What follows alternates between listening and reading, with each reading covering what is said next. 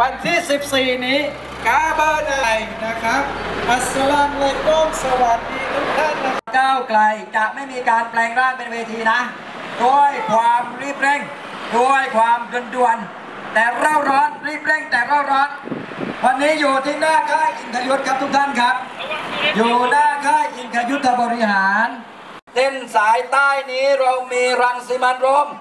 ตัวจิตนะครับสอสอที่แสดง สองคนนี้มากับเราพร้อมผู้สมัครสอสอเขตของเรา ทั้งพี่ทอมชาญชัยเบอร์สิบเขตหนึ่งทั้งครูมันเบอร์หนึ่งเขตสองทั้งเบนนันภาควิชาการและภาคการเมืองตรวจสอบค้นพบแล้วนะครับ 19 ปีที่ผ่านมาเพิ่มมากขึ้นตายเพิ่มมากขึ้น จนกระทั่งพบว่ามีคนตายในระหว่างการขนย้ายผู้ซออยู่อยู่ก็หัวใจล้มเหลว และล้มลงไปเอง ไม่มีอะไรเกิดขึ้น กล้องวงจรปิดในวันนั้นไม่สามารถที่จะเก็บภาพได้สักตัวโคราชจะไม่เกิดขึ้น ถ้าพักก้าวไกลเป็นรัฐบาล จะไม่มีการหักหัวคิว จากผู้บังคับบัญชา ที่น้องทหาร โดยเฉพาะทหารชั้นผู้น้อย จะมีทุนในการประกอบอาชีพจะ ไม่ใช่การเชื่อข่าวลวง ไม่ใช่ไปเชื่อว่าพักก้าวไกลจะตัดประชาชนนั้น สามารถทำงานอย่างมีประสิทธิภาพขึ้นได้ สามารถมีคุณภาพชีวิตที่ดีขึ้นได้ ผมอยากจะสรุปให้เห็นชัดๆ 5 ข้อของการปฏิรูปการของพลทหารและทหารทุกระดับชั้น ให้ปลอดภัย มั่นคงมีอนาคต การทำให้พลทหารปลอดภัยก็คือการแก้ไขพรบวินัยทหาร เพื่อปิดช่องไม่ให้ผู้บังคับบัญชานั้น สามารถทำรงวินัยทหารได้เกินขอบเขตนะครับวาระที่ 2 การไปรูปกองทัพที่จะส่งผลดีต่อทหารที่ทำหน้าที่อย่างสุจริตก็คือการยกเลิกการบังคับเกณฑ์ทหาร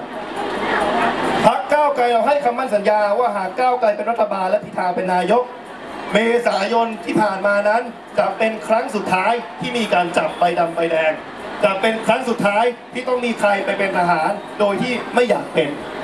แต่ผมยืนยันครับว่าการยกเลิกการเกณฑ์อาหารนั้น ไม่เพียงแต่จะเป็นประโยชน์สำหรับประชาชนที่ฝันอยากจะทำอาชีพอื่น ไม่เป็นประโยชน์เพียงแต่สำหรับประชาชนที่จะได้รับเสรีภาพในการประกอบอาชีพกลับคืนมา ได้รับเวลาที่ใช้ในการเดินตามความฝัน เวลาที่ใช้กับครอบครัวกลับคืนมา แต่การยกเลิกการบังคับเกณฑ์อาหารก็จะเป็นประโยชน์กับคนที่อยากจะสมัครใจเป็นทหารด้วยจำเป็นที่จะต้องจัดการกับอุปสรรคที่อาจจะเกิดขึ้นที่คอยขัดขวางรัฐบาลที่มาจากการเลือกตั้ง นั่นก็คือการปฏิรูปกองทัพ เพื่อป้องกันไม่ให้เกิดรัฐประหารอีกแล้ว และที่สำคัญการปฏิรูปกองทัพ ของพรรคก้าวไกล จะนำไปสู่การสร้างทหารที่มีความเป็นมืออาชีพ เป็นทหารที่เป็นของประชาชนก้าวแรกของการปฏิรูปกองทัพ คือการยกเลิกการเกณฑ์ทหารก้าวถัดมาที่เราจะทำคือการ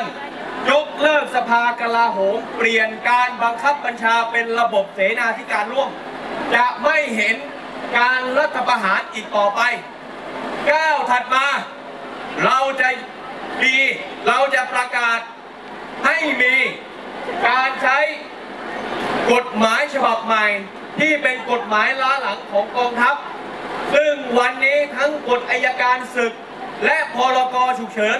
เราไม่สามารถตรวจสอบได้เลยพักก้าวไกลจะจัดการกฎหมายที่ล้าหลังเหล่านั้น ดูคลิปจบแล้วนะครับ อย่าลืมกดติดตาม และสมัครสมาชิก YouTube มติชนทีวีโดยการสแกน QR Code ด้วยนะครับ